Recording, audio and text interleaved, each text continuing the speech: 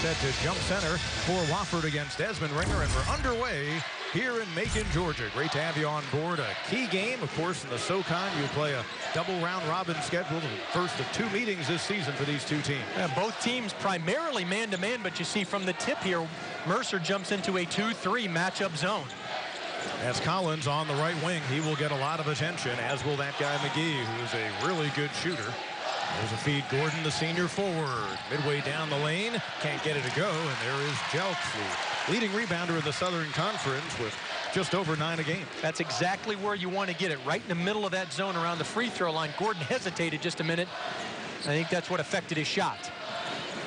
Leonard on the left wing. He's not known for his shooting, but he knocks down the three-pointer. And for Philip Leonard, he is now two out of seven on the year beyond the arc. Well, and just his seventh in his career, not known for that. He is a pass-first point guard. That is a really good sign for the Mercer Bears out of the jump. A Wofford team that, as we noted in the open, has not lost a Southern Conference game in a year. January 15th of 2015, eight in a row coming in, their best run ever in the league as Magee couldn't get it to go. Justin Lewis wanted to push the pace, but instead elects to slow it down. Well, I think that matchup zone has kind of confused Wofford just a bit in the sense I don't know that they were expecting that right from the start. I'm sure they covered it in the scouting report, but thought that the Bears would go to it later. Garcia knocked it away the first time, and then Gordon for Wofford runs it down, and here come the Terriers, a Wofford team that on the season forces just under 12 turnovers a game. And now on the miss, the Bears go to man-to-man. -man, -man. And again, as we said, Collins and Magee are the shooters. You see Magee in the lower right corner of your screen, and Collins was on the other side of the baseline. Here's Eric Garcia, the junior point guard. Has been part of a lot of winning in his career with the Terriers. Shot clock down to four. So Gordon going to go to work on Jelks. Little spin move, forcing it. They say he beat the shot clock, but the ball didn't hit the rim. So as it turns out, it'll go back over to Mercer. He got that off just as the horn went off, the shot clock. But to your point, it didn't hit the rim. Violation the other way. Nice start defensively by Mercer. Mercer team that is tough to beat in this building. They have lost just nine games in here since 2011. There's Demetre Rivers, the 6'8 guard working inside. And C.J. Newman pulls down the rebound. We have two of the top five in SoCon rebounding today. The leader, Jelks for Mercer, and C.J. Newman of Wofford is fifth in the league. Alan, there's a couple others that are very capable in Ringer, as well as several for, for Wofford. Collins going to force the three, and that is something he has added to his game this year. Spencer Collins, who last Saturday, you can say single-handedly helped Wofford rally to beat Samford. And Collins hitting his first bucket of the ball game. He's 43% for the season beyond the arc, and as we told you, 61% so far coming in in five league games. An early 3-3 tie. Desmond Ringer working inside. They're going to get him for the walk. Nice job settling in right there by Wofford, in particular C.J. Newman on Ringer one-on-one in the post. And our General Shale building blocks of the game. Well, Wofford's going to need some contributions off the bench. Even though they have a solid starting group, this is their second road game in less than 48 hours, especially that track meet they were in at Citadel. And for the Mercer Bears, they've got to win the battle of the boards. This is where they can dominate. They lead the SoCon. Ironically, Furman played them even 31 all on the glass Thursday night. Each team going to the bench. Jordan Strawberry, a guard is checked in for Mercer. And you see with the ball right there, Ryan Sawvell, one of their backup big men now on the floor for the Terriers as Magee working against Another player just checked in, Corey Kilby for Mercer. Collins out high, going to force a long two, and he gets it. Spencer Collins just two on the shot clock that time. He is all five of Wofford's early points. Well, as the veteran, very aware of where the shot clock was, but he was going to take that shot regardless. Nice start by Collins here early. Wofford four out of six Southern Conference championships and some mighty close calls for upsets in the SoCon tourney as Demetre Rivers hits the three-pointer. 36% on the year beyond the arc, and he puts Mercer back in front. Boy, nice awareness right there by Jordan Strawberry as C.J. Newman was stretched out on that pick and roll. Strawberry threw back to an open Rivers. Collins weaves. Garcia, baseline inside. Sawvell gets rejected by the seven-foot-one Andrew Fischler of Mercer.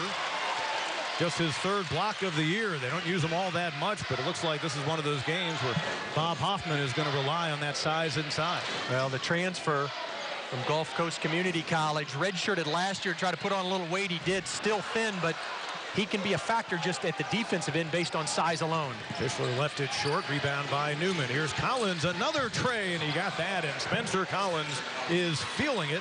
As we said, he had his career high in this building a year ago with 26 points. Well, there's a reason he's second in the Southern Conference in league game scoring at 20.4. If you're Mercer, you've got to keep an eye on him at all times in the half court. Can't let him get going. He is off to a good start overall, averaging just under 15 points a game. That's Justin Lewis, a long two for him. Well, it's interesting. Both teams pride themselves on defense. Wofford not quite at the expectation of where they have been last several years, but got the feeling we could have a shootout tonight. We've got some pretty doggone good offensive players as well. You mentioned matchup zone earlier for Mercer. Are we still seeing the same thing? We are. Yep, on Mage, they're going 2-3. Misses, they're back in man-to-man. -man. And that time the miss from the wing, but the Terriers will recycle the shot clock. Garcia will knock down a three-pointer. And Eric Garcia, 42% from long range. Wofford as a team, they rely on the three. They hit 37%. Before the game, and just then, I don't know if you noticed, Garcia looked over to his right to Justin Lewis. And before the game, we noticed those two kind of jawing at each other. Here's a feed inside Fischler, and he lays it up and in. And keep an eye on that matchup. Number five for Mercer and number five for Wofford. Lewis and Garcia throughout the game as we have another uh, well, Pete, Pete you're right. 11-10 ball game. Absolutely. You're right. There was more than just a little jaw. It went on several times for several minutes. And a whistle and a bump is going to be called, and they're going to get Justin Lewis with the first foul of the ball game. So a tight one so far. I was going to say we had another tie ball game, but we've had a couple of early lead changes, and back and forth we have gone. Spencer Collins coming in as one of the best scorers in the league, especially during conference play. The senior knocking that one down. Justin Lewis and company trying to answer and doing so for Mercer here in the early going. They right up there at the top of the Southern Conference. Couple of teams that come in with one loss apiece so far in league play. Ella Magee's got to try to get in that gaps. He's the best threat, although Spencer Collins has been really good. They placed him at the free throw line against this matchup zone. Garcia out high. Wofford's been going deep in the shot clock so far. Here's Magee, the freshman, little hop step, stops at the elbow, can't get it to go, and there's Jelks taking the rebound away from Justin Gordon of the Terriers. Had a couple of lead changes so far. Wofford pretty much a man-to-man -man team. As Jelks is going to try a three. Gordon got out there just a little bit too late. Stephon Jelks can do it all. He leads the team, averaging 12 and a half a game, and he also hits nearly 40% of his three-pointers. Well, again, J Jordan Strawberry doing a really nice job stretching out that, that screen, and then he throws back. That time, Ringer dove to the basket. Jelks popped high. That's Gordon backing in on Ringer, the senior from Charlotte. Little baby hook with the left hand. He'll get it to go. And we're tied up again, this time at 13. Nifty little left move, uh, left-hand move right there by Gordon, and we need to see more of that. He's a guy that can be active against this zone for Wofford. He's had nine points in each of his past two games against Chattanooga and the Citadel. There's Strawberry on the runner, and he banks it in. Keep an eye on him. He's really done a nice job scoring off the bench during league play. He, he certainly has. The last two, three weeks, his numbers are up across the boards. And he's like most players. When his offense is cooking, then his defense just goes up another level as well. And yes, if the name sounds familiar, he is the son of the former Major League outfielder. As that time Garcia can't get it to go, and another rebound by Jelks. Who, with a little bit of an ankle issue coming in, not showing any effects of that. He has been skying for those boards. Garcia out to defend Strawberry. Jelks again on the wing, driving, pretty dish underneath. Ringer rejected by Justin Gordon for his fifth block of the year. And here come the Terriers. Boy, nice offense, but the defense was better. Wofford, though, trying, you can see they're trying desperately to try to kick it in the lane so they can free a man on the wing for an open jumper. And Collins, the ones that he's made so far, really have been forced over top of the D.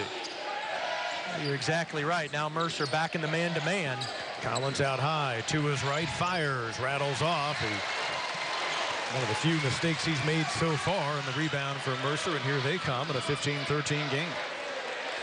Well, it's interesting. These teams are so well coached. The players They're well coached, and they all, everyone, know their role. Even the guys off the bench understand what to do and how to do it. Strawberry's going to try a long one. And the rebound deflected by Magee, and Gordon has it. Of course, Mercer, one of the really good rebounding teams, not only in this league leading the way, but also in the nation. They've got an amazing difference between their rebounds and the opponent. No good that time, but Gordon runs down the Magee miss. And with a fresh shot clock, here's Garcia. Collins on the drive. Ooh, off the back iron. There's Ringer with the rebound for Mercer. I thought that was going down for Spencer Collins. Boy, and he thought so too. He's kind of running down the court shaking his head like, how didn't that go in? Beautiful move. The closeout after he'd hit a couple of jump shots by the defense was able to get by. Strawberry gets hung up. There's Jelks working on Gordon. Couple of great athletes. Feed inside. Ringer couldn't get the handle.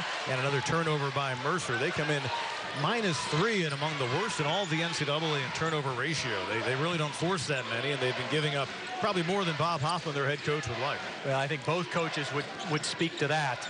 You know, Wofford's been uncharacteristic the last couple games as well. Magee with a baseline drive, and the freshman Second leading scorer on the team with his first bucket of the afternoon and a pretty move that time at 6-4 to go inside among the big guys. Uh, Magee, yeah, I mean, he's as talented a freshman as there is in the Southern Conference.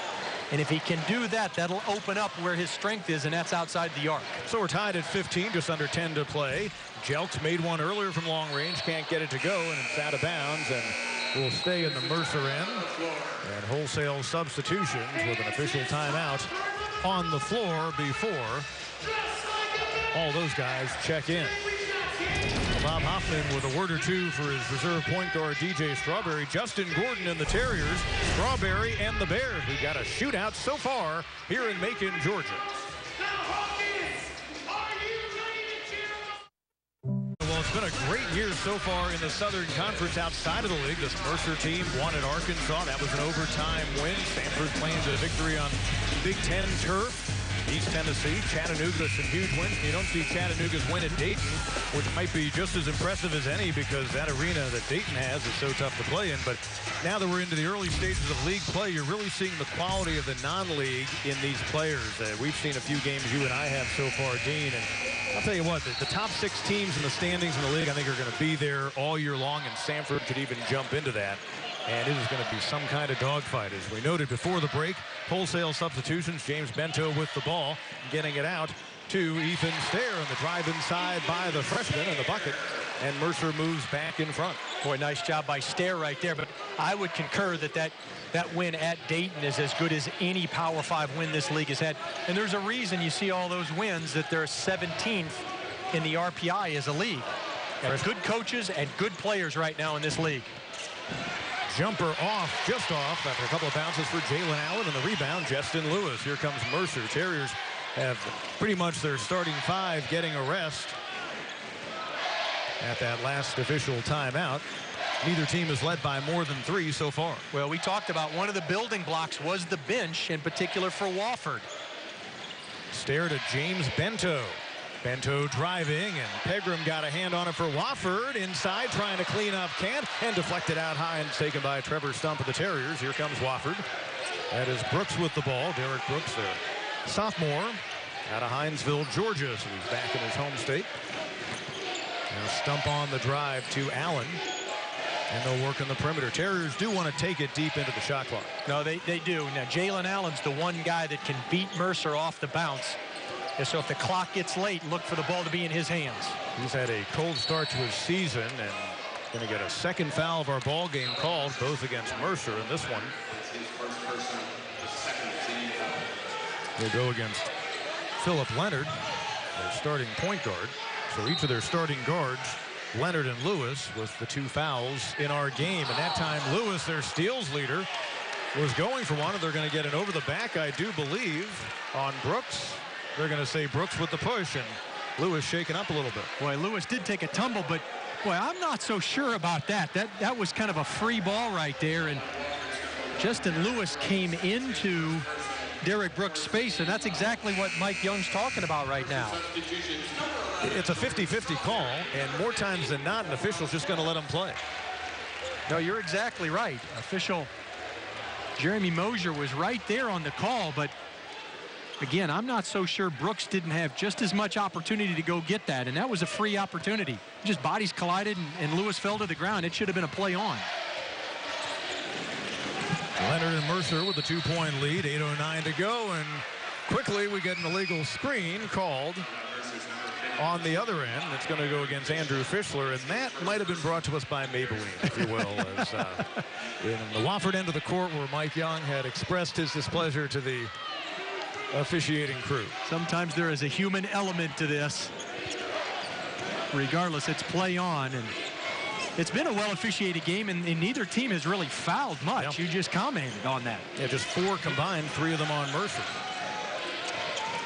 Stump, who had a couple of uh, big moments for them in their win at the Citadel the other night. There's Allen missing on the rebound by Jelks, and he may be 6'6", 225, but he is a athletic fella, and he really does take up a lot of space when he boxes out. Well, he's just one of those great rebounders then is that he has a knack for it. Right place, right time, and he's got great hands to secure it. That time he tried to drive on Sawvell. And Ryan Sawvell, a transfer from Evansville, picking up his first. And we've got a timeout on the court with 7.28 to go here in the opening half. So we saw a flurry of points early on. Now it's kind of turned into a cat and mouse. Two great coaches. Matching widths, matching X's and O's. And Mercer up by two.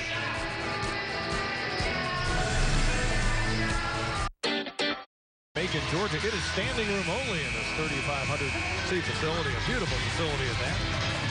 Mercer and Wofford and tussle. Mike Young, currently seventh all-time in Southern Conference wins. He's just three away from jumping over Bobby Cremins and into fifth place. Eddie Cameron is also right there in front of Young. Of course, Bobby Cremins had a wonderful run at Appalachian State before he made a national name for himself at Georgia Tech. But Mike Young in his 14th year at Wofford. For many years before that, he was an assistant to the gentleman who's now the athletic director at Wofford, Richard Johnson. And he has done some kind of job for the past six years. Wofford has won the Southern Conference Championship and had near misses pretty much in each of their NCAA tourney games. At that time, Jordan Strawberry called for the travel. Well, Mike is a fantastic coach. I think that's well documented, but he's a better person and a better family man. Wife Margaret, two kids, just uh, have known him for many, many years. And nice to call him a friend. He and his entire family, as is so often uh, the case if you look around Wofford's athletic department, just woven into the Wofford community and really great representatives. Collins had a big start, but that's his second straight miss for the Terriers' leading scorer. Rivers, the rebound, lost his balance, and out of bounds he goes. Well, nice job by Justin Gordon to hang around right there and take away the outlet to, to Leonard. You'll see it here on the replay. Rivers goes and skies for it over Newman, but then Jordan hangs around and takes away that outlet to Philip Leonard. Rivers had nowhere to go. That's one of those plays that won't necessarily show up in any stat book, but it steals a possession for Wofford. And in a game like this, that can mean the difference between winning and losing many times. Terriers who had their subs on the floor for an extended period of time now back with their starting five out there and just about the same for Mercer. Gordon working on the seven foot one. Fischler inside. Had it knocked away. Now left wing Garcia. 10 on the shot clock. Collins, he gets the attention of a couple of defenders. Gordon out high and he dragged his foot. And that'll be a Wofford turnover. Terriers combined their past two games 36 against Chattanooga and the Citadel. I was just going to say they've had some trouble with with turnovers coming into tonight. Now they only had one before that travel by Gordon. That's not where his strength is in 19, 20 feet from the basket, but something to pay attention to right now. Wofford's got to take care of the basketball. We've seen so far the early battle. Gordon of Wofford, Jelks of Mercer, the two small forwards, two of the better athletes in the league. And that's really a treat to watch those two on both ends of the court defending or going against each other with the ball. Strawberry, seven on the shot clock. Thought about it. Instead finds Leonard cutting to the basket, and he lays it up and in. We talked about it. Both these teams so well coached. Leonard knew exactly what to do when he was overplayed, and that's go backdoor. Jordan Strawberry, nearly four assists per game. Leonard, their starting point guard, leads the way, and it's the biggest lead for either team at four points. Garcia's going to stop and pop, and that breaks a dry spell for Wofford. They hadn't had a field goal since above the 10-minute mark, but back to a two-point ball game in 1917. Now, if you're Wofford, you got to dig in defensively here the last five and a half minutes. Have a critical time for them right now. They're, the bench kind of kept the music going. Starters back in. Now they got to make the run. This game is more the scoring pace of the 49-46 Wofford win in Spartanburg last year compared to 76-72 here. Pretty dish that time, and Fischler finishing inside. Now, Fischler, not really pretty, but but he's shown good hands on, on both baskets that he's made. He's been able to secure that, keep the ball high, not bring it down where the guards can slap it away. Garcia with Collins out high. Working behind the screen of Newman. Into the corner it goes to Magee. And Fletcher McGee knocking down the three-pointer. Freshman having a great year from really all over the place, but 39%. He's their second best scorer. He is an absolute gym rat, and their PR person told me before the game while we were watching their shoot around earlier this morning that watch, he'll be shooting when everyone's getting ready to leave as they feed Fischler, but an offensive foul will be called. And it looks like they get Leonard on the charge, and I believe that's his second. Uh, you see right here, Leonard was able to turn the corner on Garcia, but a terrific job. Team defense right there. C.J. Newman outside the restricted arc, gives his body up. Bob Hoffman can't argue about that one, although that's Leonard's second, and that's going to send him to the bench. And he heads over there along with Jelks and Fischler, so substitutions, including Lewis getting back on the court. As we told you, watch the matchup of number five for Mercer Jelks defending number five of Wofford Garcia because they were jawing during pregame warmups and in the early stages of the ball game too and it's uh, kind of a little cat and mouse thing they got going. Garcia Jr., native of Aurora, Colorado, just outside of Denver. He's got it on the left wing. He's going to try a three, and he got it. Eric Garcia hitting another three for this Wofford team. And just like that, the Terriers move back in front. It's our fourth lead change so far in the early going. Well, Garcia's had a couple of nifty offensive moves here the last few possessions. Had a great freshman year. Build on it last year, even though he battled a broken jaw. Just as tough as they come. Ringer inside. 6'9 sophomore, the transfer from South Carolina, finishing in front of the bucket. 23 all-our score here late in the first half. I haven't seen him turn to the right shoulder. He's usually right hand dominant going over the left shoulder. So obviously show some expansion in that game as we enter conference play. Newman with the handoff to Garcia. Now Magee back to Newman. He hit a three there from moments ago. Garcia, rather, knocks down another three. Well, he had his feet set. Nice job by Magee. He could have forced what would have been a good shot. Instead, gave it up to Garcia for a great shot. So Wofford matching its biggest lead of the ball game, a three-point advantage. Cut inside, Ringer fouled hard on his way to the basket, and that'll be the second on Sawvell, and it'll bring us to an official timeout. Well, obviously, when a big man like Desmond Ringer gets it down low, probably the best thing to do is to foul him. He's got one of the best shooting percentages in all of the Southern Conference. Under four timeout. Bob Hoffman chatting with one of our referees here today. The Wofford Terriers, Mercer Bears. It has been artistic at times and mighty physical at others. One shoot free throws as Desmond Ringer goes to the line for a couple. And the sophomore from just up the road McDonough, Georgia, coming in at 75%, hits the first. Well, Ringer, before break there, was fouled, roll into the basket, and Mercer's done a really nice job. Wofford is hard hedging. They're not trapping the screens, but they're trying to stretch it out. Two or three dribbles. Jordan Strawberry in particular has found Rivers for a three, Jelks for a three, and then previously uh, Ringer roll into the basket. Pegram the rebound off miss. When we went to break, Wofford had 26. As we come back, they have 25, as you see, because they, during the break, changed that last three by Garcia to a two. He has the ball on the left wing. And Gordon, a dangerous pass, but the feed to Pegram, who does a nice job working through traffic and finishing. Matt Pegram, the freshman, 6'11 from the Charleston area. And he's kind of a guy that they think has a real huge upside. They're not counting on too much out of him in terms of points or rebounds as a freshman, but he's getting extended minutes today against the big guys inside. You're right, and, and he's able to go against a bunch of other bigs at Wofford. That's only going to help him in practice. Wofford's ball, they try to build on this biggest lead of the game for them. They haven't led by any more than three points. And with 2.28 to go, Mike Young calling out a play. Wofford needs Pegram to give him some minutes, particularly with Cameron Jackson out with a foot injury. Collins, the runner, and the box out by Ringer, pulls down the rebound. You can see the focus on Mercer's defense. Whenever Collins has the ball, he has one defender going out, another's not too far behind, and a whistle. And we're going to get a foul. against the Terriers. He'll go against Pegram. That'll be his first. So now four fouls so far on Wofford. And Mercer was just four, so combined 18 fouls here. And we've got 2.03 to go before the half, so it gives you an idea that we've had a pretty good flow in this game so far. It's interesting. Mike Young obviously saw something right there, right before that foul. And he had that look on his face. You knew that the timeout was coming. He wants to talk this thing over. Use it or lose a timeout, so Mike Young will use his. So he has three remaining. Bob Hawkins doing just a great job here at Mercer. And keep in mind, they were in the Atlantic Sun Conference for the better part of his eight years here. Now, he's in season number eight, second season in the Southern Conference. But you'll remember, their last year in the Atlantic Sun, they won the league and went on and did some great uh, things in the uh, NCAA tournament. Now, Bob Hoffman, again, like Mike Young, as fine a gentleman as he is coach, he's a good mentor. He's the perfect fit for this Mercer University basketball program and just done great things. And, you know, we, we saw it there in the graphic. They have won a tournament game each of the last four years, whether it's been CIT, CBI, NIT, or the NC2A.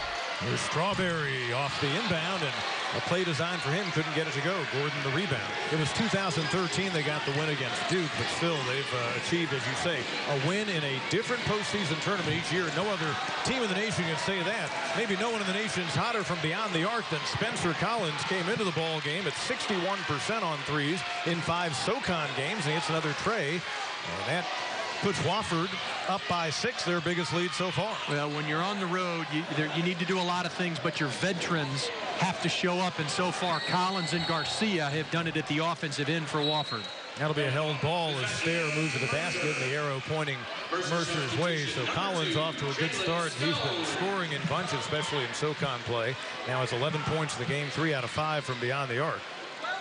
He's always been kind of that silent assassin, that third, second or third option when you had Karl Cochran last year and Lee Skinner and others, but he's been asked to carry a much broader role, and he's starting to take it upon himself here in conference play. Strawberry no, Jelks on the return. That won't go. There's Ringer inside, and Desmond Ringer using that size to box out C.J. Newman and put it up and in. It's a four-point game. Uh, one of the first offensive putbacks, kind of second chance opportunity that Mercer has gotten here in the first half. Coming up on one minute to go in this first half. Tight ball game between two of the contenders in the Southern Conference and the two-time reigning champ Wofford Terriers holding their own on the road. Although Newman missing that one. Jelks another rebound. Now will Mercer try to go two for one? College teams don't do that quite as much as the NBA does. Oh, knocked away that time from Ringer. Newman comes away with it. And now the question for the Wofford Terriers with about a 10-second differential. What do they do? They'll probably try to continue their desire of using a lot of shot clock. Well, you're right. And Garcia, heady point guard play right there, trying to figure out what defense they were in. They're going to look for Collins. He has the ball right now. And Lewis to defend. Gordon out high. Five on the shot clock. Gordon going to step out for a three. That won't go. So 10 seconds to go. And Mercer. And I blame Wofford teammates for that. They hung Justin Gordon out to dry right there. No one came back to get it. Jelks forcing to beat the buzzer. That won't go. And the Wofford Terriers will see that four-point lead stand up heading into halftime. Well, each team a little bit of a chess match. But To your point, he has affected the game at the, at the, on the glass as well as with a couple of really nice assists. These are two really fine players. Now, Spencer Collins wearing number 12 this year. The third different number the senior out of Easley, South Carolina has worn during his Wofford career. He's about to inbound at midcourt to start things in the second half. But this year he switched from his number 14 last year, his high school number, to 12 this year for a very special reason. Well, he, he did it in, in memory of Jeremiah Tate, former Wofford teammate who tragically died this past summer drowning. And uh, you know, he said it was the right thing to do. In fact, he spoke at Jeremiah Tate's funeral, and Mike Young said uh, he'd never been prouder of Spencer Collins in any basketball or academic move. And C.J. Newman getting the roll in the first shot of this second half. So Newman, the senior from the Minneapolis-St. Paul area, comes off a career-high matching 12 points at the Citadel, and he gets in the scoring column right there. And Wofford matching its biggest lead. Jelks hit a first half three, can't get that one to go, and there's Collins on the rebound. I'm not so sure that Bob Hoffman, as the game progresses, necessarily wants Jelks, who can go outside and in, necessarily shooting that shot. I think they'd rather maybe work Jelks as part of that rolling down low. We'll see as we unfold in the second half. Here's Gordon working on the 6'9 Ringer. Reverses and makes it from the left side. I think you're exactly right, Pete. Conversely, uh, Mike Young obviously made a big emphasis at halftime of throwing the ball inside. First two possessions go to Newman, and now the power forward Gordon attacks. 4-0 run to start the second half. Biggest lead of the game for either team. Eight. Ringer inside, and he, with a reverse layup from left to right, might have gotten away with a half step right there, but Interesting no to see now if Mercer kind of falls back into a zone that was pretty effective for him early in uh, in the first half. And you would think Wofford, a team that can go four out and likes to take jumpers, wouldn't necessarily mind seeing a zone. Go ahead and pack it in on them. They just as soon have the space out high. Gordon try to feed inside a little bit too late to Newman. And here comes Leonard going all the way on Garcia. He'll go to the line and shoot two. And for Eric Garcia, his first foul in the ball game. We didn't have too many fouls on either side in the opening half. Boy, and look in the replay. Look who's following. Nice move, nice crossover by Leonard. And in, incoming in the screen, number 15. He's always around the basketball. And even after the whistle had blown, he was still attacking to try to go get it just in case. Jelks and Lewis have really stepped into key roles this year for Bob Hoffman and this Mercer team. They're hoping that Demetre Rivers, their 6'8 guard, can also do the same as the year progresses as we see the first free throw go down for Leonard, who comes in shooting 66%. You're right. I mean, Rivers is kind of that X factor. Didn't play much as a freshman, now coming into his own a little bit as a sophomore, but he needs to kind of be that next player within this program. they've lost some really good ones the last couple of years. Langston Hall two years ago was kind of the star on that NCAA team. And then last year, TJ Hollis, big guy inside. And now Jelks has kind of taken his point, position. Wofford that five-point lead led by eight moments ago. One in this building 76-72 last year. They had a big lead in the game, and then Mercer came all the way back. It was back and forth down the stretch, and the Terriers prevailed. Collins had a big say in that outcome, trying to do the same today. Had a good first half, can't get that jumper to fall. Here comes Mercer. And you get the feeling the crowd here is just waiting for something good to happen to, to kind of explode, if you will. Magee with the rebound off the Leonard miss. Terriers, again, not looking to push the pace. They do not want to get into a track meet here. None whatsoever. Not their style. They're capable of getting up and down. And off the leg of Magee, he made a baseline drive earlier in the game for two, and that time he was trying to do the same, but pretty good defense that time as well. No, you're right. He just dribbled it off. He was trying to turn the corner. Leonard doing a nice job defensively, driving Magee right to the baseline. Lewis sets up behind a screen. Halfway down, comes out, and look who hustles and runs down the rebound in the corner. Stephon Jelks. Ringer, the big fella off the glass. Well, and then Jelks comes up with that loose ball slash rebound and gets the hockey assist, if you will. Outlets at the Leonard who finds Ringer inside. Ringer off to a nice start here in the second half. What do we see defensively? It almost looks like a 1-3-1 Adam Mercer. No, you're exactly right. With Lewis up top, they're just kind of daring Gordon or C.J. Newman to catch that ball at the free throw line and beat him. Magee off the fine from Collins. Can't get the roll. And Rivers the rebound. Bears as close as they've been in a while. Jelks.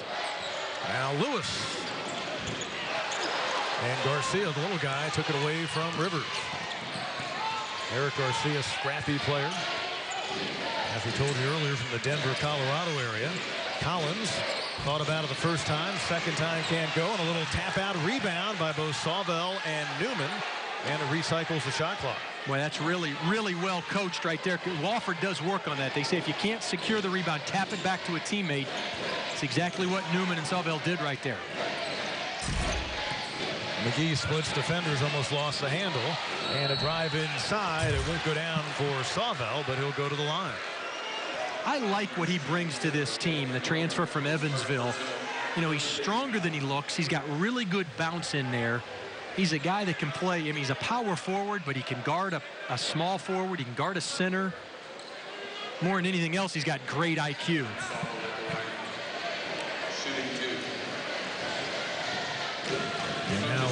Heading the line on the season shooting 69% as there's a little bit of moisture on the floor.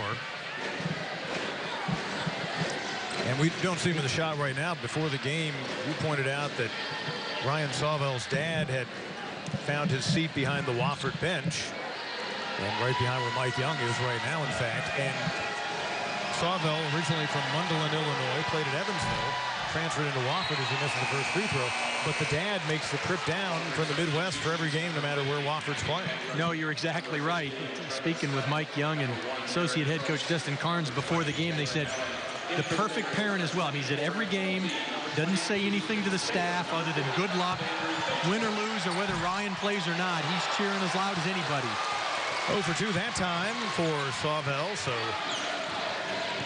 Mercer getting it back down by three. Well, as we, as we were talking right there, almost a hockey shift of players coming in and out of the game, particularly for Wofford. Drive on the baseline that time. Leonard hit the deck, and a foul was called. And I believe they are going to get a push inside. Let's see. I think they're going to say it was on the big man Pegram. Oh, we got an official timeout on the court. Wofford led at the lead earlier in the half, and they've got the ball. Uh, you're you're right on both accounts. Mercer really, really good here in Hawkins. Crowd helps. Good players help. Feed inside the seven-footer. Fischler puts it in, and Pegram just picked up another foul. That'll be his third. Now Fischler's giving them some good minutes. You'll see it here on the replay on the out of bounds. He gets the screen, keeps his hands high, releases it before Pegram can even attempt to block that shot. So Newman will come back in, and the freshman Pegram, who had an uncle play in the Wofford program many years ago, is one of their top 10 scorers all time, Willie Pegram, but at Pegram to the bench. Two quick fouls, one just before that break, and then another coming out. And here is Andrew Fischler, transfer from Gulf Coast Community College, a seven-foot, one, 218-pound junior, originally from the Atlanta area, just outside in Cumming, Georgia, six out of 12 from the line this season. And that'll tie us up at 34 apiece. So a run for Mercer to get this thing even, an 8-0 run. Wofford led by four at the break. Exactly. Derek Brooks now running the point for Wofford. No, you're right. He's exactly what Bob Hoffman wanted out of that timeout. Treating out of bounds like, like football treats special teams. Now a bunch of bench players on the, on the floor for both teams. Who can keep the music going? Gordon off the feed from Newman. Shot clock at five, so Gordon goes to work. Strong move to the basket. Mike Young wanted the foul, nothing doing. And it comes down to Ethan Stair of Mercer. And Mike Young is going to be admonished by the official, a coach's warning. Jeremy Mosier, Jason Creek, and Frankie Bordeaux are officiating crew today. Uh, it's interesting. A lot of times the officials won't stop play with a warning. I think Mike Young maybe caught a break right there, but but his point was earlier in the first in the game in the first half when there was that loose ball between Brooks and Lewis, a lot of contact call went against him. A lot of contact there. Gordon initiated. Nothing called on Fischler. Not a lot of fouls in this game. And in fact, Wofford's only shot two free throws. Mercer has shot just five. Strawberry crossing over on Brooks with a lob and in. And an offensive foul. So let's see. A new rule this year. And they will wave off the bucket. Well, take that, another look. That looked like the right call. You see the defender, Gordon steps. His feet are set. He's outside that arc. But in the old days, I think that would have counted as a basket. That's exactly right. The new rule this year, and you see that Frankie Bordeaux is still hearing it from Mike Young on the previous, in his opinion, no call on the other end of the floor. So 34 all, our score remains. 14.45 to go, and what looks like a ball game is going to go right down to the wire. A couple of teams, they have slightly different styles, although you notice something stat-wise. Neither team has had a bucket running out so far. Allen on the right wing. He's a guy they hope can get hot in league play. He's had a cold start to his season. Out of bounds it goes back over to Mercer. But no fast break points so far. No, and that's, you know, with Wofford, they get back defensively. Mercer's been very good. I tell you what now, effort plays are going to win the game down the stretch here. You sense that this crowd wants to get into it. It's a time where the where the officials are going to start taking control, but more importantly, the players are going to have to adjust. And losing the handle on the way to the basket, Corey Kilby. Last touch by a Terrier. And we'll see Collins, Garcia, Magee, and also Sawvell come back quickly. And the wholesale substitution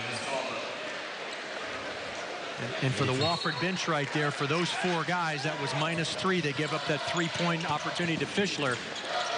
But you knew that the bench was going to have to play for Wofford today. Second game in less than 48 hours, and playing Citadel just can wear you out with that style of play. Pretty feed. Strawberry Rivers has it bounce out on him. Oh, that was a nice feed and almost a reverse layup. Newman, the only one who stays on the floor after the mass subs for Wofford. Collins out high, and that'll go for another tray. And Spencer Collins having a fine afternoon for this Wofford team. As he hits the three-pointer, he now has four threes in the ball game. He's all scores with 14 points so far. So Wofford back in front by three. They led by as many as eight in the early stages of our second half. And a whistle away from the ball. We've got a three-second violation against Fischler.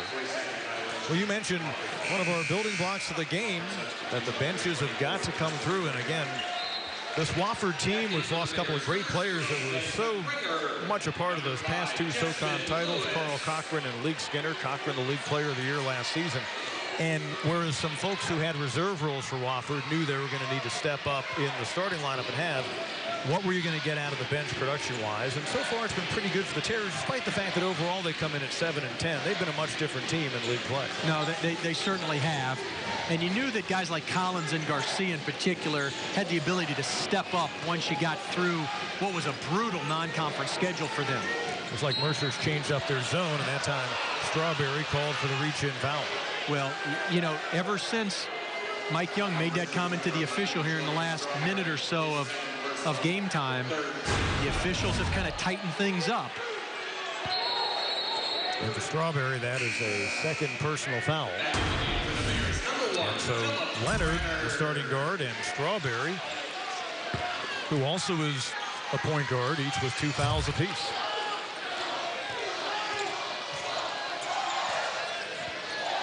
Fresh 30 for the Terriers. As Jelks gets a hand on that one, knocks it out of bounds. Saw Mike Young go up to Stephon Jelks and give him a big hug during uh, the pregame warm-ups. And again, as the recruiting process goes on. It's amazing how many guys in this league are recruited by so many other teams, and you, and you, build relationships with the coaches, and sometimes it'll come down to, you know, one or two SOCON teams that you might make a decision over. And, and these two did. Yeah kid from up in Atlanta. Deshaun Lowry came down to Mercer and Wofford. He decides to sign with Wofford. There's going to be those recruiting battles for the top kids in the Southeast that, that aren't necessarily ACC or SEC players. Magee with that miss, and Leonard looked like he was going to penetrate, but he'll back out. And, and I'll tell you something, as you see the SOCON, and you'll get every ACC and SEC coach to agree on a point the make in a moment, as Lewis can't get the runner. And we go the other way. Wofford looking to push the pace, but now Garcia going to back it out. Left corner Collins feeling it, but not that time. Newman in a battle for the rebound, and Stair for Mercer saves it to Ringer. And Mercer will set it up. You've got several players in this league that could easily play on an ACC roster. They may not be starters, but they could contribute in the ACC, SEC, and other major conferences. I don't think there's any question about that. And yep. Stair that time, no Newman the rebound. Well, Ringer started there at South Carolina. Gordon on his way to the hole. Can't get a shot off, but he fouled from behind. So we'll see Justin Gordon go to the line. It'll just be the second time a Terrier shoots free throws here in the ball game this afternoon. Stephon Jelks called for the personal foul. A Wofford team that know, is in a battle, to say the least. Mercer and Wofford going toe-to-toe -to -toe on a Saturday in the SOCON. We wouldn't want it any other way. Well, ne neither lighten it up. Both just 30% here in the first eight minutes of the second half. A lot of that has to do with the defense. And Wofford now over 3 as a team from the foul line. Either team has had a whole lot of free throws. And Gordon gets the roll, so one out of two on that trip. And the Terriers' lead is built back out to four, 38-34. They led by eight points in the early minutes of half number two after they had a four-point halftime lead.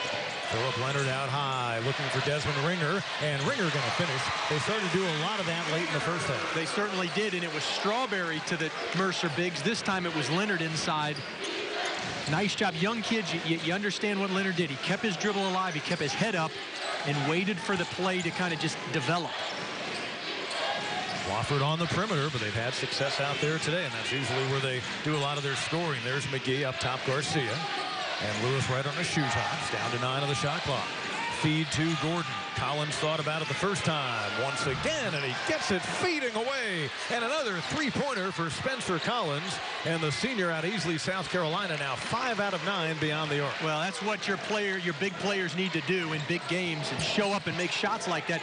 Credit Justin Gordon right there. He caught it at the free throw line and then went inside out. Five-point lead, bumping inside. I think they're going to get Gordon on the hold on Ringer earlier, and that's some nice in-game coaching by Mike Young and staff also. Justin Gordon in the first half was catching that ball at the free throw line against the zone and, and hesitated, put it down. He traveled one time. Right now, it's about catch it and look inside out to your shooters. First foul on Gordon, fourth in the team. Garcia went for the strip instead. He'll be whistled for reaching in, and for Eric Garcia, that's his second personal. You'll see him just reach down, probably saved a layup right there by Ringer. And even though it's the second on the starting point guard, I bet you Mike Young is just as soon in that situation. Take that, and we get a travel off the inbound. It happened right in front of Bob Hoffman. You see him there on the left side of your screen, the head coach of Mercer. He can't believe it. One of the more animated coaches in the league. I was talking with a fella today who was watching the Auburn-Mercer game and said, boy, throughout the game, they couldn't take the cameras off Bob Hoffman and how he was reacting in a game that Mercer probably should have won on an SEC court. They got one their next game at Arkansas. Did they get a victory? Collins inside, right up over the 6'9 ringer, and you can see the angst on the face of the big fella. Well, and, and that time, Justin Gordon dove to the basket and then Spencer Collins filled behind him. Lewis going to try a three, and he got it from the corner. That's big for Mercer. Ends a little bit of a Wofford run as they were starting to get that confidence back. It's a four-point game once again. You're exactly right. That was a very timely make by Justin, Justin Lewis. He's a guy that can make plays for you both outside the arc and get into the basket. He gets the lid off from beyond the arc this afternoon. Now under 10 minutes to go. Here's Garcia. And the shot does not count as they're going to say the foul is on the floor. And that's pretty big right there. It's the third on the starting point guard, Leonard. And they'll get him on the reach in. Boy, he was just a hair from going into that shooting motion. Nice. Tonight's team with five team fouls here in the second half, but it is big. Leonard will go over to the bench, and Ringer also going to get a breather, but Leonard there because he has three fouls, and I got to think of this kind of ball game, Bob Hoffman probably wouldn't want Leonard off the floor at all if he could afford it. We'll see how long he can keep him over there. No, you're right. Although Jordan Strawberry has been playing well for the Bears, not only today, but the last couple of weeks. He's got some confidence. Now it's time for him to step up. Strawberry had his career high 24 points against a good team, Chattanooga on the road couple of weeks ago, and that time he knocks it away to Lewis. Two on one break. Lewis by himself, and Gordon knocked it off the glass. No whistle. Battle underneath, and let's see. Boy, I really thought they would get a goaltend there. I think even the Wofford players were a bit surprised. And let's see, are they going to call it over the back foul on the rebound try? Well, great job. Collins knew he messed up. Look at him. He, he doesn't backpedal. He runs forward, gives himself a chance to go at it, and Gordon got it before it hit the rim. Lo and behold, or, there's or had a movement toward the rim in that situation. That's so right. the glass. You know, folks think goaltending is whenever the ball is deflected around the glass, but it does have to be, it has to make a physical motion toward the basket. And in that case, the officials saw otherwise. And then I believe they're simply going to say in the scrum afterward, the ball was knocked out of bounds by Mercer, but you see the officials going to the scorer table. And Mike Young, the head coach of the Terriers, and Bob Hoffman, each a little bit confused. Are they going to go ahead and count the basket? Okay, after the fact, now they have counted the basket. Okay, so they, well, we never heard a whistle, wow. though. Yeah, no, we never heard a whistle. It was so loud in here. Frankie Boudreau was the official on the baseline that yep. made the call. Yeah. And normally you'll see a very animated reaction, though, showing the official stop play to the basket. We didn't see that either. Boy, so it does down. go as a bucket. And Bob Hoffman either wanting a foul or wanting goaltending. So 43-41, that's a big play right there. Carriers had built a lead back out to seven points. Gordon setting up on Jelks, backs in, bodies fly, blocking foul is the call against Jelks. Let's see if they count the basket. Nope, they're going to wave it off. And Stephon Jelks picks up his second. I'm not so sure if maybe he was applying any drama classes he may have taken in his career here at Mercer, but uh, the official it's one of those bam, bam. It can yep. go either way. And uh, collision right there, and a whistle and a foul. And you can see the contact, and they're going to get Justin Lewis for running into Garcia. So that'll be 17 fouls now against Mercer, and a very good Wofford team that shoots 76% from the free throw line will be in the one and one. Well, that's amazing. That's almost like the play we saw in the first half. Watch it here again. Ball is thrown about 30 feet outside. Lewis and Garcia go into the air. Lewis gets called for the bump. And they got the defensive player on that first half call That's you referred to. In that case, it was Brooks coming over the back of the offensive player. Well, in this situation, the defender ran into the man waiting for the ball. Eric Garcia to the line for the first time this afternoon. The Aurora, Colorado native, 77%. He was being recruited by Wofford, but as I'm told, he was kind of eh, just thinking about the school in the South. But when they went out and played BYU in the NCAA tourney in Denver, that's when he really fell in love with the program back in 2011. Well, and you know who actually is responsible is Niko Medved. He, the, the head coach at Furman, he was uh, at Colorado State as an assistant. And, and because of his relationship with Mike Young when he was at Furman as an assistant, he said, hey, there's a guy, if I was in the Southern Conference, I would recruit. Lo and behold, the kid Wofford and Niko ends up back at Furman as the head coach. Now he's got to play against him.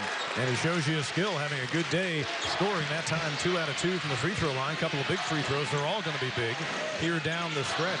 12 points in the game for him. Collins of Wofford leads everybody with 19.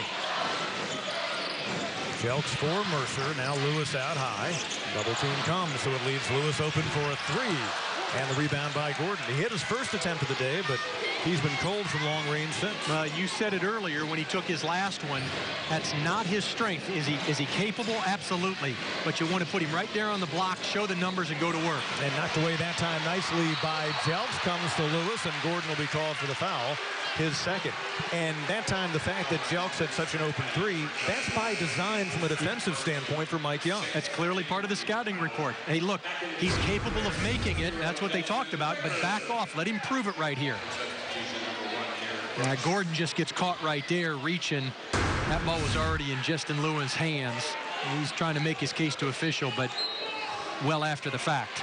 16 fouls on Wofford, so Mercer will be in the bonus at the next foul. And Mercer, a team from the foul line this year, pretty good themselves, 73%, so it could come down to that. Lewis from the right wing, and he got another two straight threes for Justin Lewis, the senior, native of Richmond, Virginia. And it's a 45-44 game, back to a one-point Wofford lead. Uh, he's the one guy outside that you don't want to lose. Fletcher Magee lost him just enough. Gordon hung up. Now Brooks, backup point guard, is Garcia's getting a breather, and that time Collins going to be called for lowering his shoulder. 17 foul against Wofford. It will be the first against Spencer Collins. And will not lead to free throws. So each team has the other in the one-and-one bonus. So coming up on the under eight timeout, and Bob Hoffman thinking, you know, we could have a lead. And when he was down by eight points earlier in the half and then seven points moment ago, he would have taken that right then and there. Strawberry Ringer.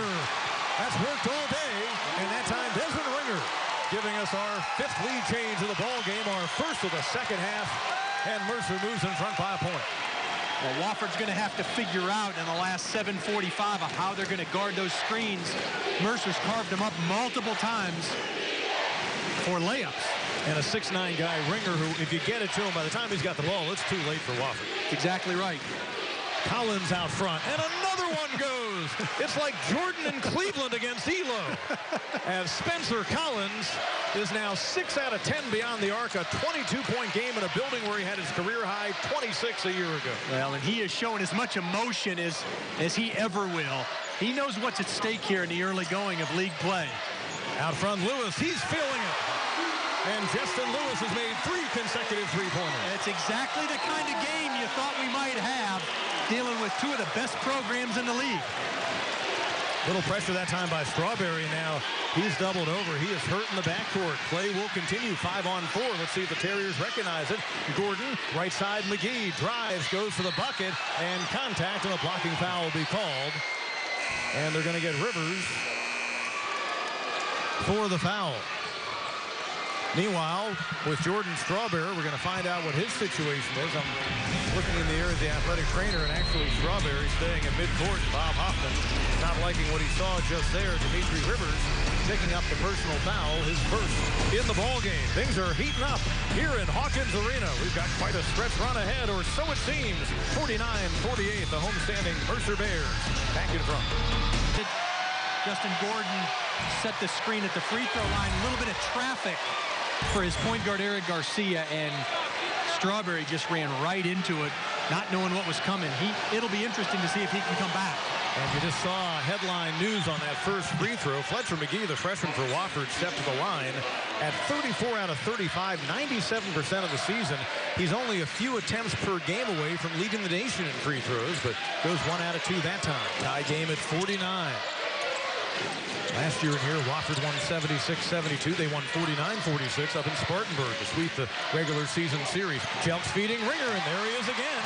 He has been cleaning up inside as Desmond Ringer having himself a fine afternoon, and he now leads Mercer in scoring with 15 points. And C.J. Newman, I thought he took a charge as Jelks left his feet on the ground. Officials say play on. Wofford in that pace that they prefer. Mercer back in the zone, I think a little bit to protect Leonard. Collins downtown. Do not touch him. You will get singed. 52-51. Yet another lead change, our eighth of the ball game. Boy, you think Spencer Collins likes Hawkins Arena? Actually, you know, before the game, I said, you had 26 in here last year, and he said, I like this arena. so there's your answer right there. They try to go inside big again. Jelks that time as it knocked away by Newman. Tries again. Rebound deflected out high, taken by Garcia. So the Terriers had one-point lead. And if you're Eric Garcia or any Wofford Terrier, you better try to find Spencer Collins right here. Spencer Collins pushing that career high from last year. 26 in here a year ago. He is 25 this afternoon from three-point range. He's 7 out of 11. Came in at 61% in SoCon play. Almost lost at that time with five on the shot clock. To Garcia. Garcia will force a three. And the rebound by Jelks. Nice defensive stand that time by Mercer. Yeah, it certainly was. Justin Lewis, as much as he's been scoring, kind of taking the challenge now defensively to guard Collins. Wofford's Mike Young, I think, won the timeout. Jelks will try another three-point attempt. Can't get the home roll. And the battle for the rebound to Lewis. And he knocks down another. Collins and Lewis. Back and forth from beyond the arc. And back in front goes Mercer, 54-52. And if you can notice, you see the whiteboards on the Wofford bench right here. Assistant coach Kevin Giltner writes down the play, and they talked about it in the shoot-around today. You're not going to be able to hear when this crowd gets loud. Ooh, nice feed inside. Sawvell can't finish. Tips it out to Garcia. And we're tied at 54, and it quiets the crowd. Sawvell won't be credited with a rebound, but again, that tip back that they teach each and every day at Wofford. We're tied at 49, now tied at 54, and Bob Hoffman going ahead and using his first timeout of the ball game, and the first one called by either team here in the second half. We've got ourselves a barn burner here in Hawkins Arena. A sold-out standing room only crowd showing up to witness it, and they are being treated uh, quite a battle. A couple of teams that think they can win the crown of the SoCon this year. Spencer Collins is certainly winning scoring honors so far, but Justin Lewis not too far behind their shootout, and the Bears and Terriers shootout continues after this. Southern Conference basketball on Fox Sports Southeast is presented by Arby's. We have the means. By Geico, 15 minutes can save you 15% or more on auto insurance. By Ingles, low prices, love the savings. And by General Shale, building the American dream. Have ourselves some kind of game here, Dean Keener, with 4.04 to go in the second half, 54 all, Wofford and Mercer. Three-point battle between Spencer Collins and Justin Lewis of the Terriers and the Bears. At that time, the Bears Philip Leonard going to the basket. That's what he does best is finishing, and Mercer back in front. No, he does, and I was just getting ready to say, interesting that both Jelks and Lewis on the bench for Mercer in an offensive possession. Obviously, Bob Hoffman knows his team very well. Probably waiting till the under four timeout as Magee can't get that one. Look at Newman knock the rebound away from Ringer, and Garcia has it. They'll get a fresh 30. Kind of been in a cat and mouse game where Wofford would lead by one, Mercer would lead by two, or where they would be tied. We were tied at 49, then at 54, and Mercer the two-point advantage. Newman driving through traffic, and they're going to say that he was fouled. Let's see, is it on the way up? I think one official determined that it was going to be traveling. The other, out on the wing, Frankie Bordeaux, who had a better look to the open side of Newman, instead calls the foul against Mercer, and we'll have free throws coming up on the other side of this official timeout. I have a feeling we are going to see Justin Lewis of the Bears and Spencer Collins of the Terriers back on the floor for the stretch run. C.J. Newman that's his career high with 12 points in the day. He just wants to make two free throws upcoming to get us back even. It's 56-54 Mercer. Been big play after big play, but you're exactly right. Wofford makes 5 of 11 from behind the arc in the second half. Not to be outdone, 4 of 9 by Mercer. But in the paint, that's where Mercer has done their work. On that high pick and roll, and then Lewis and Leonard even had a couple of drives here in the last couple of minutes. They've outscored Wofford 30 to 10 in the paint in the ball game. And frankly, they're going to save this tape because that's how they want to use Desmond Ringer in every ball game. It can really open things up. Here's Magee. Haven't heard a whole lot from the freshman today. Good shooter, but he can't get that one to go. Lewis had the rebound, hits the deck, and a travel is going to be called. You know, there were a lot of bodies flying around that time. And let's see, uh, I should say Jelks had the rebound. He hits the deck, and slow to get up. He hurt his ankle the other day, but he hasn't shown effects of it this ball game, and he's fine there. Take another look. A lot of bodies were flying around that time. Now, Jelks, I mean, he, it was as much Jelks and Leonard up there as it was Gordon. And Leonard trying to raise his arm and make the case, but I think that was the right call. And this is, we have a overtime game here at the half. They've got a tight game in Chattanooga, East Tennessee State, the first place team, trails by two against Chattanooga who came into the day with Wofford and Mercer tied in the loss column for second place in the league. Gordon missed that would-be winner at the end of regulation. This time goes up over Ringer. Battle for the rebound, and it's won that time by who else but Stephon Jelks, and he continues another good ball game rebounding in double figures with 12. And that's two offensive possessions for Wofford in overtime where Garcia and Collins have had have not had touches. That time they feed Ringer once again on Newman, forcing it up and in. And a new career high for Desmond Ringer. South Carolina transfer, grew up just outside of Atlanta, just up the road from this campus, and he now has 19 points in the ball game earlier this season. He had 18 in their loss at Ohio State. I've been really impressed with his, with his footwork here this afternoon inside. And now for Wofford, they've got to get Collins or Garcia a, a, good, clean look. Collins going to load one up from three. Can't get that one to go. He had been hot, and in the ball game now has hit 7 out of 12 three-pointers.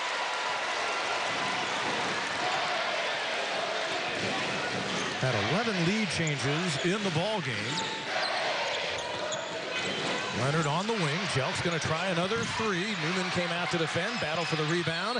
Jelks and Magee and out of bounds to Wofford. And when you know it, Jelks was the one who took the shot, and he's the one who tapped it out of bounds.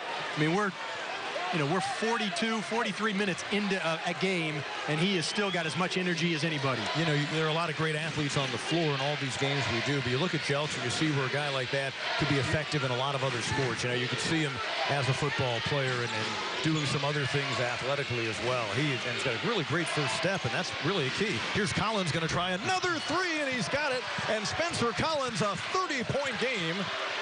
He already was among the superlatives among best scoring games in the league so far with the effort he had against Samford two Saturdays or last Saturday when he had 25 points and that time he puts Wofford back in front. And that wasn't an easy shot. He had to quickly square his shoulders. Leonard with Garcia in front of him. You talk about being in the zone. What is it? We don't have enough time to talk about it right now.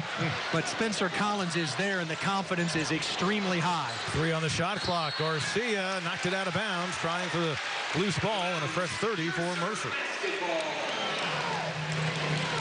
It's amazing, you know, 228 to go in overtime just has a different feel than 228 left in regulation. Yep. It really does, and how many times, you know, rarely do you see games that end up in just one overtime, especially in conference play, because the teams know so much about each other. And a turnover that time by Ringer. But really, yeah, non-league, they went to Arkansas. Probably should have won it in regulation. Then they took care of it in overtime. But non-league, you will see. And now they've stopped play because one of our officials has asked for a reset of the clock. I think, but you'll often see uh, conference games when they go overtime usually go more than one because, again, these teams, they not only studied for each other, but Wofford and Mercer have seen each other against fellow SoCon opponents repeatedly now uh, for the past couple of weeks as they look at the film. You're, you're 100% right. And, and even though Mercer's just been in the league two years, I mean, they're as prepared as anybody. And oh, the yeah. film study they do and the scouting yep. reports. Yep. Yeah, Mike Young's gotten some national notoriety for the four NCAA trips in the past six years. With that 2014 NCAA win against Duke, Bob Hoffman of Mercer got a whole lot of notoriety. But, you know, folks around the nation should learn even more about these two veteran coaches and how good they are. Well, they, they, they have as many Power Five or big wins as you can as you see Garcia trying to run off a Newman screen and Leonard holding him up in there. And that'll be the fourth on Leonard. Initially, the, the clock issue they had, actually it was the shot clock when Wofford inbounded, and they wanted it from 30 down to 28, and now Garcia having to wait for his teammate Fletcher Magee. He's being attended to by the athletic trainer. I think might have put a bandage on a uh, potential cut. So Garcia goes to the line, came in at 77%. And in our ball game this afternoon, he's two out of two. He has matched his career high in scoring with those 19 points, 7 out of 9 from the field. And look at that, almost uh, on his way to a double-double in the best category of all for a point guard. And who has now exceeded his career high, a 20-point game for him. Well, and when you're feeding a guy like Spencer Collins, it, it's easier to accumulate those kind of assists. But that to, to, to be at nine and almost 10 assists, that's uh, that's a heck of a statement. And Garcia two out of two. So Wofford a three-point lead. They led by two points in the late stages of regulation when Ringer forced overtime.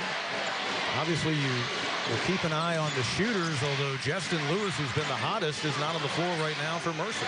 Strawberry, though, a guy they defend on the wing. That's Magee right in front of him.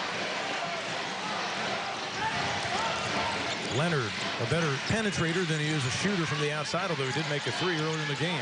Rivers, the 6'8 guard, spinning on Collins. Strawberry pump fake around Magee, forcing a three. That won't go, but look at Jelks with another rebound. He's got 13 in the game. And Strawberry recognized the shot clock was at three. He had to force it up. Thankfully, Jelks right there to corral it, give him another opportunity. Bob Hoffman maybe wishing he had the option to go to Lewis right now.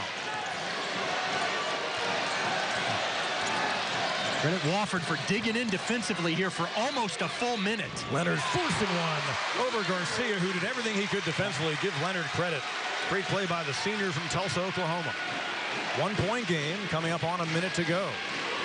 Leonard, the player in the most foul trouble right now for Mercer with four. Lewis over there on the bench.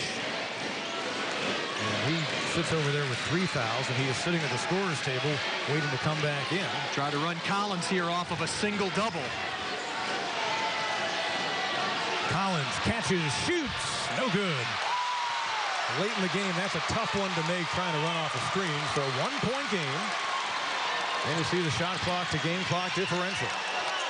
Leonard that time looked low for Ringer, but Newman had him covered up. You know that Mike Young's been admonishing C.J. Newman, get in front of Ringer at all times.